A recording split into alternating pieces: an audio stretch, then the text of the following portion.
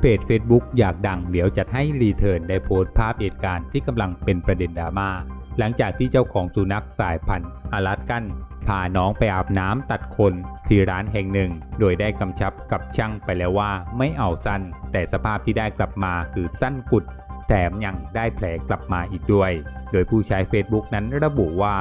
พาน้องไปอาบน้ำตัดขนบอกช่างว่าไม่เอาสั้นแต่ดูสภาพที่ได้ ไม่เหลือความเป็นอารัดกั้นสั้นกุดกว่าขนน้องนั้นจะยาวก็ล่อไปปีหน้าแล้วมั้ง และก็ได้แผลมาเต็มตัวด้วย คลินิกนั้นรับผิดชอบไหม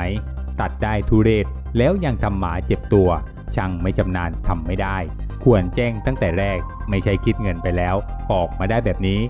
1,700 บาท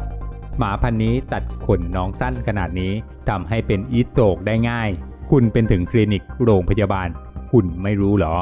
หากน้องช็อกหรือว่ามีปัญหาคลินิกจะรับผิดชอบอย่างไรคะ ล่าสุดช่างที่ตัดนั้นโทรมา แทนที่จะขอโทษกลับบอกว่า ลูกค้าต้องการอะไร ตัดแบบนี้ถูกแล้ว จะให้รับผิดชอบอะไร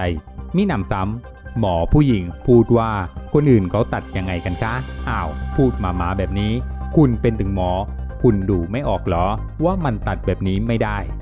รูปตัวอย่างที่ให้ดูก็ไม่เหมือนเลยแถกันเก่งทั้งคลินิก รอเจ้าของคลินิกนั้นออกมารับผิดชอบค่ะ ขออนุญาตถามหน่อยนะคะว่า